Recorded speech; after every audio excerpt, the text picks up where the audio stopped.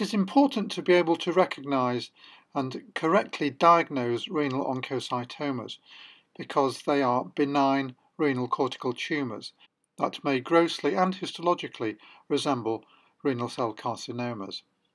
More of that later. They account for approximately 7% of renal parenchymal tumours. They are nearly twice as common in males than females, and the typical age range is 50 to 80 years old. 75% of oncocytomas are asymptomatic, but they may present as pain, mass, or hematuria. The pain may be in the flank or abdomen. In recent times, oncocytomas are often incidental findings on CT scans, MRI, etc.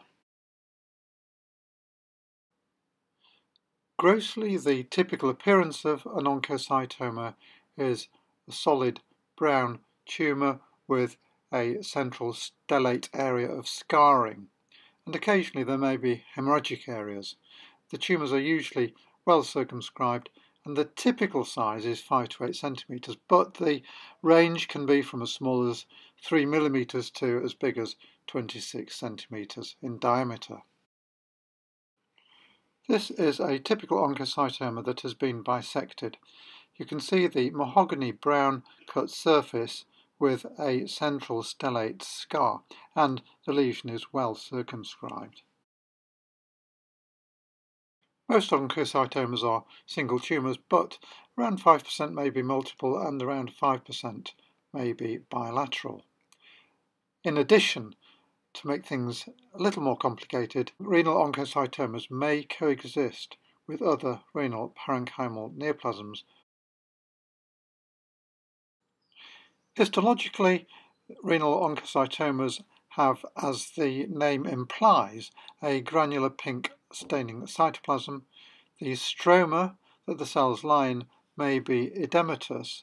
The nuclei are uniform and round with a central nucleolus. Architecturally, the tumour may show cyst formation, tubule formation, solid areas, and also alveolar areas. Mitotic activity is almost always absent, but the nuclei may show some pleomorphism, but this is due to degeneration and nothing sinister. This is the microscopic appearance of an oncocytoma. Here the tumour has a somewhat alveolar pattern and towards the left of the picture you can see there is a very edematous stroma with only scanty numbers of oncocytoma cells lying in it. And here is a higher power view of the oncocytoma cells with round regular nuclei containing a single central nucleolus and abundant pink staining cytoplasm. This oncocytoma shows hemorrhage with hemosiderin deposition and some degenerative changes. If you look at the interface of oncocytoma with adjacent renal parenchyma, the oncocytoma tends to merge imperceptibly into the adjacent renal tubules. This oncocytoma has a cystic pattern.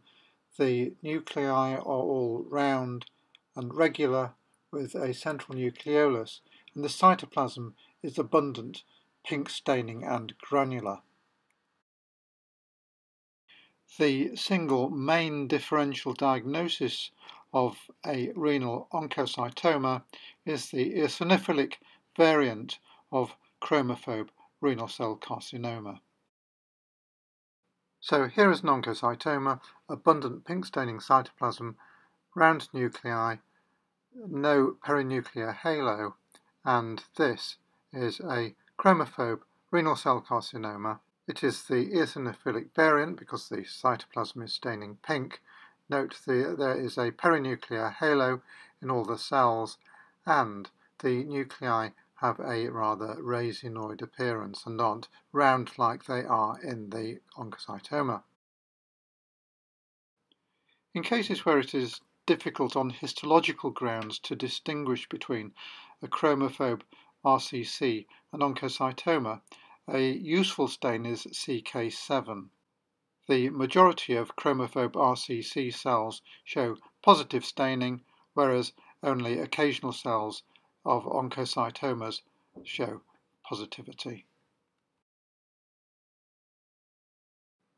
And this is the typical CK7 staining pattern in an oncocytoma. You can see the vast majority of oncocytoma cells fail to stain with CK7, but there are scattered positive cells here and there. In contrast, this is a chromophobe renal cell carcinoma and the vast majority of tumour cells show strong positive staining with CK7. So this is really a very useful stain to distinguish between a chromophobe RCC and oncocytoma.